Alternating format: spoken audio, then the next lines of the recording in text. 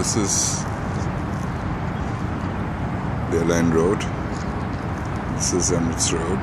And see if you see in the horizon there's a dark discoloration which continues, continues along. It's almost like a full circle.